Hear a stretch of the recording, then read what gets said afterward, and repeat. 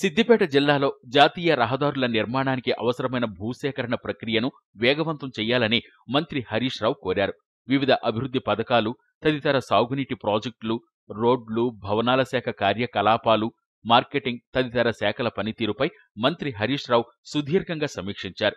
ఈ సందర్భంగా మూడు జిల్లాల్లో మంజూరైన జాతీయ రహదారులను త్వరితగతిన పూర్తి చేయాలని మంత్రి తొమ్మల హరీష్ రావు ఉన్నతాధికారులను ఆదేశించారు. జాతీయ రహదారులకు అవసరమైన భూసేకరణ ప్రక్రియను వేగవంతం చేయాలని ఆయన కోరారు. జాతీయ రహదారులకు జిల్లా కలెక్టర్లు ప్రాధాన్యమివ్వాలని అన్నారు. జాతీయ రహదారులన్నింటికీ సంబంధిత జిల్లా హెడ్ క్వార్టర్తో ఔటర్ రింగ్ రోడ్డుతో అనుసంధానం చేయాలని ఆర్ఎండ్బి మంత్రి తుమ్మల నాగేశ్వరరావు అన్నారు.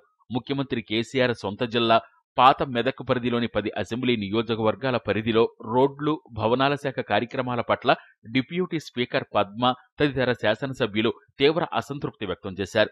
దీనిపై మంత్రి తొమ్మల తీవ్రంగా స్పందించారు. తమ శాఖ అధికార యంత్రాంగంపై ఆగ్రహం వ్యక్తం చేశారు. రహదారుల పరిస్థితి అధ్వానంగా ఉందంటూ శాసనసభ్యులు ఎంపీలు బహిరంగంగా మాట్లాడటాన్ని బట్టి ఆర్ఎండ్బి అధికారుల పనితీరు అర్థమవుతున్నట్లు తొమ్మల వ్యాఖ్యానించారు. దీంతో మంత్రి హరీష్తో పాటు ఎంపీలు ఎమ్మెల్యేలు ప్రస్తావించిన పనులన్నింటినీ యుద్ధ ప్రాతిపదికన పూర్తి చేయాలని మంత్రి నిర్దేశించారు.